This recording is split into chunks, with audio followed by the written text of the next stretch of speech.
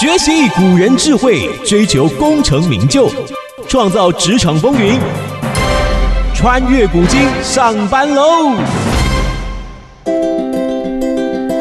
欢迎回到《穿越古今》上班喽！再次的邀请到《当孔子遇上哈佛》系列丛书的作者、经典达人李克明，克明哥。主持人您好，各位听众朋友大家好。好，克明哥呢？呃，我想过去演讲应该也是身经百战的啦，哈，讲 还好，演讲了无数场了这样子啊。那想请克明哥跟大家分享一下哈，在你自己过去演讲这个经验当中啊，有没有什么特别想跟听众朋友们分享的呢？这个呃。新的分享啊，做了很多。是，那当然了，呃，我们在很早的时候啊，就学到说啊，你要做新的分享的时候，嗯，那一定里面要多讲故事。嗯，对。那为什么要多讲故事啊？因为你在心得分享的时候啊，你就是要跟你的听众啊，彼此之间要产生共鸣，嗯，要有互动。对啊。那以前有人讲说梁启超啊，对，这个呃呃清朝末年、民国初年梁启超说梁启超先生演讲的时候啊，他能够使听众哭。嗯，能够使听众笑。哦啊，听到哭，听到笑。那这个当然就是说，呃，我我我当然没有找到说梁启超先生过去的就演讲的录音带了哈，不像其实西方有很多过去名人，你如果上网的话，他们都有演讲的那个音频可以听。是，那但是呢，呃，我们的说法是讲说哈，说你演讲的人要哭，嗯，听众才会哭，嗯嗯嗯，你演讲的人要笑，听众才会笑。对，那你演讲人要感叹，那听众才会感叹。对，但是你想想看，通常我们做演讲啊，嗯，都是在论理，说理。对对对对，说理呢，基本上就是论说文啊，论说文，哎，没有那么多的情绪的。嗯嗯啊，那这时候你如果只论说而没有情绪，那这时候听众就不能够被你感动，不能够跟你随着你情绪起伏，那怎么办？所以你必须在里面穿插故事，嗯，啊，就必须穿插故事。对，那你在故事里面呢，你演故事里面那个角色的人呢，对，你就可以笑，你就可以哭，你就可以拍桌子，你就可以什么？那这时候你就牵动到了听众的情绪了，嗯，啊，所以这个是我们把本来一个非常枯燥的一个论说的演讲，把它里面加进。各种不同的小故事，在适当的地方加上小故事，对，然后呢，去哭、去笑、去拍桌子、去怒，带动听众的情绪。哦，那这个就在你的这个本来会一个很平淡的，我们讲说 monologue 啊，这种就是说这个呃没有什么变化的这种演讲里面哈，就带进了，对不对？那这个东西，你甚至我们不要讲说演讲了，在谈判里面，我们也可以丢进小故事，嗯，对不对？你在谈判里面丢进小故事，呃，我就曾经在我的这个谈判课里面跟我们同学分享，是。说好，你今天我们在谈判里面，其实你都有对方听了会高兴的事，对，都有对方听了会不高兴的事，对，所以你在谈判的时候，你就会讲到说，哎，说现在我有几件事要跟你分享，说有好消息也有坏消息，那你要先听好消息还是听坏消息？嗯，对不对？我们通常都会这样讲，对对对，好。那就有这么一个故事了，啊，就是说北美洲啊，是。这个冬天天气酷寒，嗯。啊，所以这个印第安人的部落这个酋长啊，就把他的这个族人通通召集起来，嗯。啊，说今年的天气啊非常非常的寒冷，嗯嗯啊嗯嗯，那我这儿呢有消息要跟大家宣布，是。那有好消息，对，也有坏消息，那。大家要听好消息先呢，还是坏消息？嗯，那我们这些族人就说：“哎，酋长，我们还是都先听坏消息好。”好，他说：“好，那就先听坏消息。”嗯，是。他说：“坏消息是说好，说今年天气这么寒冷，而且持续这么久啊，所以我们粮食全部都吃光了啊。现在我们部落里面所能够剩下来，唯一能够还能够吃的东西就是牛粪了，就是 buffalo shit，嗯，就是牛粪啊。”说这是坏消息，嗯，那大家都说这是坏消息了之后，跟对这个酋长报告，那什么是好消息呢？酋长说好，前面的是坏消息，说现在我们只剩下了这个这个野牛粪了，对吧？但是呢好消息呢，嗯，野牛粪很多，这个好消息啊。所以你想看，你今天如果在任何时候你要跟你的对手对要讲有好消息有坏消息的时候，你就先把这样的一个故事先讲出来，嗯，哎。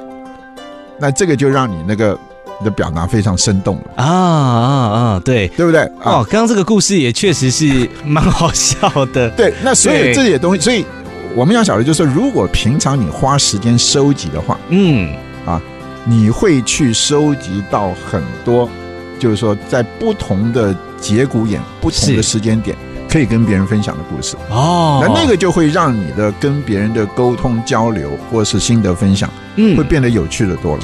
对，因为不同的故事有适合不同的情境来讲嘛，对不对？对那有时候如果你初次见面，然后要呃跟大家第一次认识哈，可能也需要一些故事来润润滑。好像刚刚柯明哥讲的这个谈判，谈判的过程当中，如果讲的故事的话，大家好像彼此距离也会稍微有点拉拉近的感觉。对啊，这个非常棒啊。那呃，这个好像在，因为我们过去啊，过去几集我们都在探讨说，哦，我们东方人的这个观念怎么样，西方人观念怎么样。可是说故事这件事情，其实东西方都并进的，对不对？西方人也在说故事的，我我们我们讲说说故事的重要啊。对你想想看，如果今天你去看一个战争片嗯，啊，不管是古装的还是现代的，对，其实那个领军的将领啊，在开战拂晓攻击之前，嗯。通常都会对他的士兵讲一番话。啊，那个其实就是演讲嘛，是。那，也就是讲故事嘛，对。就是要激励大家嘛，对。对不对？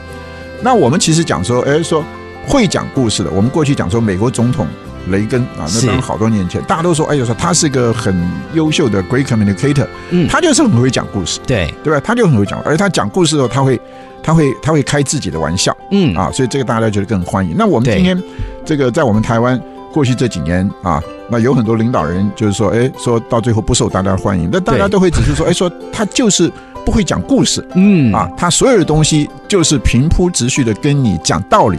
对，啊，他其实不会讲故事，所以他吸引不了你。嗯。那其实，在西方来讲，在职场上来讲的话，西方有管理书籍啊，列出了一个 CEO 所应该有的二十二个人格特质，嗯嗯嗯，其中里面面一个就是讲故事，就是讲故事。啊，，就是讲故事。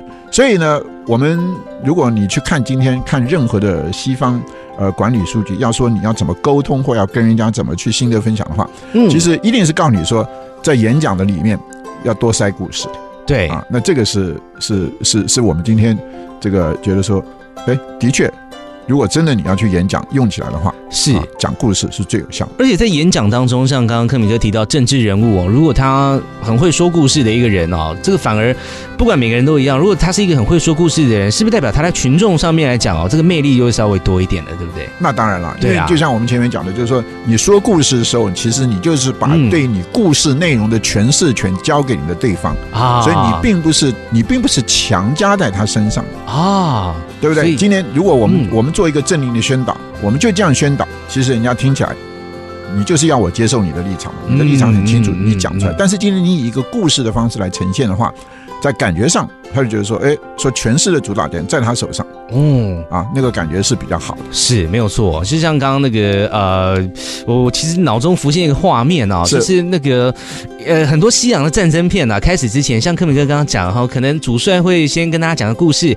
好，就是当我过去年幼的时候怎么样怎么样，敌人怎么样怎么样对待我，哇，大家听完之后同仇敌忾，感同身受，然后就带杀身，于是呢，这个大家士气就很高昂，我想也是这个道理对嘛，哦，讲故事的好处讲故事好处，就在这边了哦。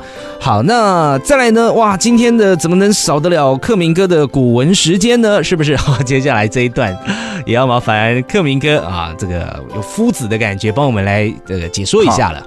这个啊，我必须要讲啊。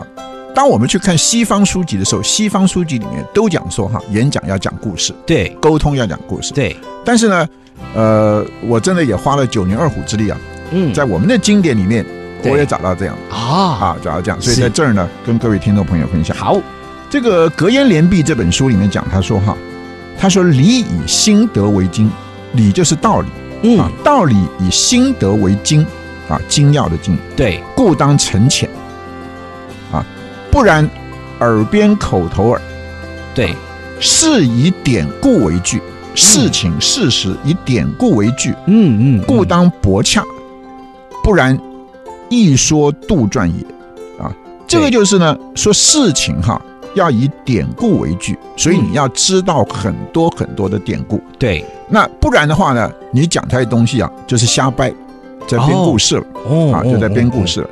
所以这个呢，是在我们中国经典里面啊呃不常见的，啊嗯。但是呢，也同样是在跟西方现代的这个这些管理学讲一样，对。就是说，哎，说你要多讲故事啊，你要多讲故事，而且要引经据典，而且要引经据典，对。啊，而且那当然不然会变成你是瞎掰的，或者是说书人这样的感觉。对对对对，那你你当然你今天讲故事讲典故的时候，嗯呃，所有的历史其实都是你典故的来源嘛。对，那你当然讲的就比你今天讲说，哎，说你说什么什么小明啦、小王啦，嗯。啊，你有真正的有人，对。这个这个名啊，有有人有物有地啊，那这个大家听起来。就更觉得身临其境啊！这个事实的这个基础比较稳一点哦。实际上，很多现在电影都是真实事件改编翻拍，大家看起来格外有感觉，因为哦，这些事情原来是真实发生过的。然后呢，引经据典来跟大家说故事，这样子啊。好，可是呃，克明哥，可是哦，有些人啊，他们就是比较有障碍一点呢，他不太会说故事啊，怎么办呢？啊，其实这个啊，我觉得说不会说故事人不必气馁。对啊，其实。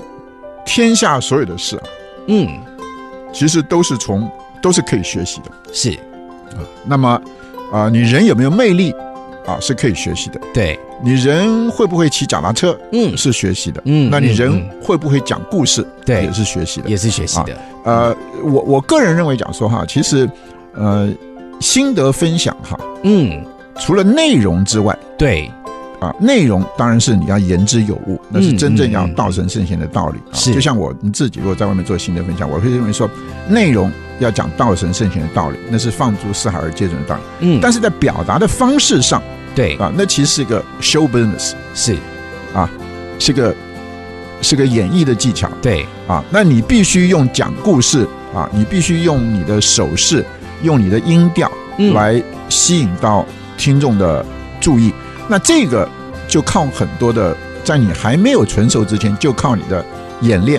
对我们讲说排演了，对不对？一直等到说你能够练到说，哎，说啊，就以我个人的经验来讲的话，嗯嗯嗯嗯，这个呃，从开始啊，当然在念中学的时候，我们也参加演讲比赛，是对不对？那后来，然后十多年前啊，进入经典的圈子里面之后，那也出去做心得分享，嗯，然后在线。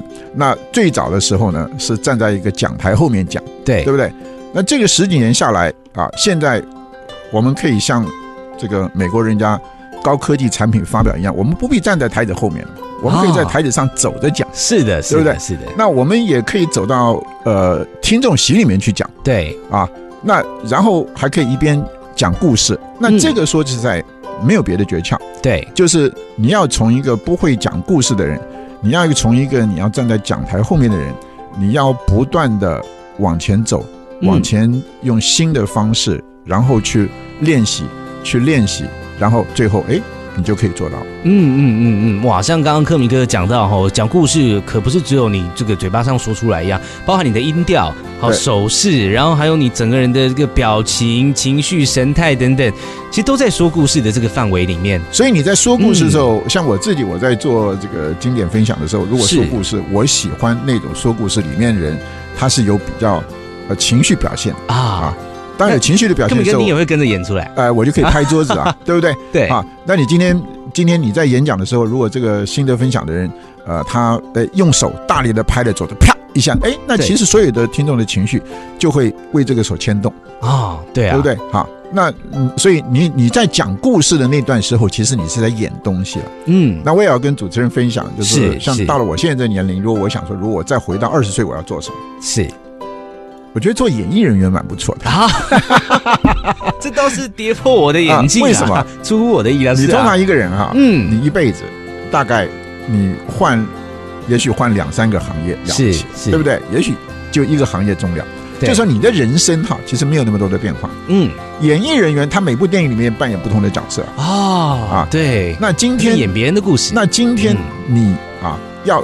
你不是演艺人员，但是你要怎么样？你可以在人生里面扮演不同角，其实就是在说故事的时候，你可以扮演不同的角色，嗯，对不对？今天当你平常的时候，你说，哎，我学习经典，所以我不能够骂人的，是啊，我不能够表示出这个呃很情绪化的，但是在说故事的时候就可以。你如果故事里面那个角色，而是这样一个人，你就可以了。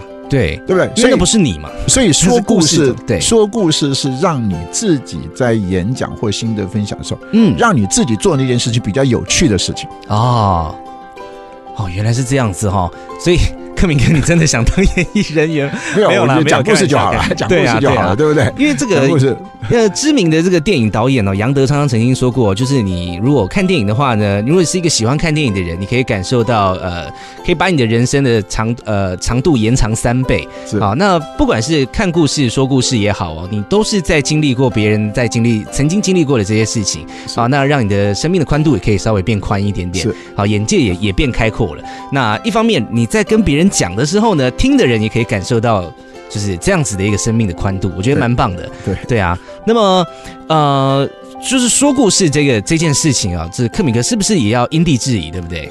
那当然啊，我想，我想，如果今天呃你跟别人沟通的话，对，其实。都一定是要看对象是谁，嗯啊，什么场合，什么地方，对，那说故事当然也是要，也是要因地制宜啊，对不对？也是要在好的时机说一个适当的故事，适当的啊，那当然也不能说从头到尾一直在讲故事啊，人家可能会觉得有点雾里看花这样。好啦，说故事的这个技巧呢，欢迎大家再去多多的练习哈，这个只要勤加练习呢，大家也可以说的一口好故事。那今天呢，节目也差不多在这边告一个段落了哈，那我们就下次再见喽。穿越古今上班喽，我们下次见。穿越古今上班喽，是由文化部影视局补助播出，透过古人职场智慧，让你上班有意思。